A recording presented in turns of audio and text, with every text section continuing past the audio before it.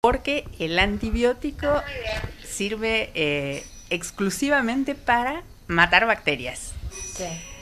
Eh, las bacterias causan una serie de enfermedades y eh, son las enfermedades infecciosas. Esas enfermedades sí deben ser tratadas con un antibiótico. Por supuesto, la persona indicada, el profesional indicado para recetar el antibiótico será el médico o el odontólogo según el caso, Claro.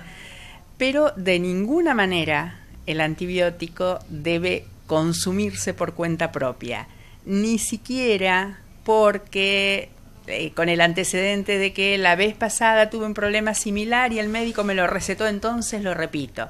Sí. El médico es el indicado para saber si lo tiene que repetir o no, porque muchas veces eh, el antibiótico, mm, por más que los síntomas sean los mismos, a lo mejor el causante del problema de salud es Otro. otro organismo que no es un- una bacteria, entonces el antibiótico no solo no le va a hacer nada, sino, y ahí está lo más grave, eh, va a generar la producción de microorganismos resistentes.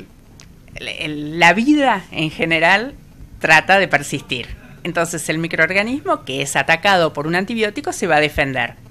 La manera que tiene de defenderse es mutar, cambiar de forma y hacerse resistente a ese antibiótico. Por supuesto que en la persona que tiene una infección, no todos los microorganismos se van a hacer resistentes. La mayoría van a morir gracias a la acción del antibiótico. Entonces la persona se cura. Pero algunos poquitos sobreviven. Y eh, otra característica que tienen las bacterias es de reproducirse a gran velocidad y propagarse por diversos lugares. Es decir, en esa en el cuerpo de esa persona que se generaron bac- algunas bacterias resistentes, esas bacterias van a salir, se van a dispersar y se van a reproducir.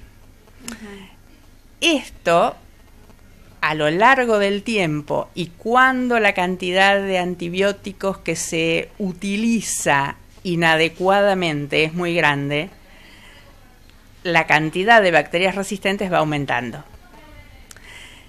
¿Qué pasa? Hay una creencia bastante común de decir, ah, si yo tomo un antibiótico sin necesidad, creo bacterias resistentes y a lo mejor la próxima vez que lo necesite, ese antibiótico no me hace nada.